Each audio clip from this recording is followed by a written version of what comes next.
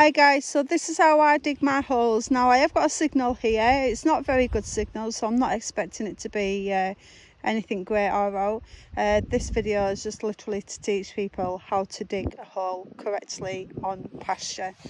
So I've already stuck my spade in there. It's a little bit more difficult because I'm holding my phone.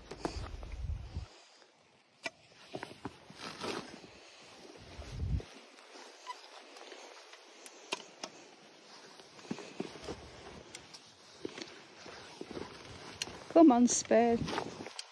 There we go. And just a little bit more here.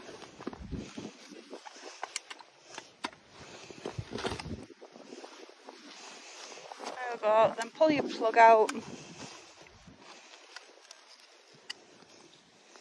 Oh, well, there's my signal anyway.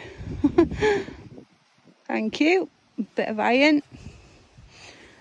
Thank you.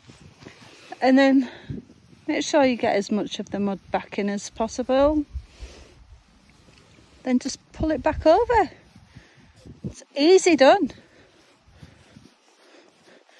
You don't have to leave great big holes on someone else's land. That's giving you permission to to dig on there. Make sure you push it back down so the animals can't get harmed. There we go. Not hard at all, is it? Perfect. There we go.